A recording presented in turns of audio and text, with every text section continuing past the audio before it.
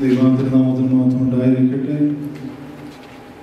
രണ്ടാമത്തെ ഗാനം സങ്കീർത്തനങ്ങൾ ഇരുപത്തിമൂന്ന്. പച്ചയായ പുൽമേട്ടിൽ ജീവജലം നൽകി. കൂരുകൾ താഴ്വരയിൽ കൂടി വഴിതെളിച്ച് നമ്മെ നടത്തുന്ന നമ്മുടെ കൂടെ പലകര പിടിച്ച് നടത്തുന്ന ആ ഇടയനെ വിളിച്ച് കരഞ്ഞുകൊണ്ട് പ്രാർത്ഥിക്കുന്ന യാചിക്കുന്നതായ ഗാനം.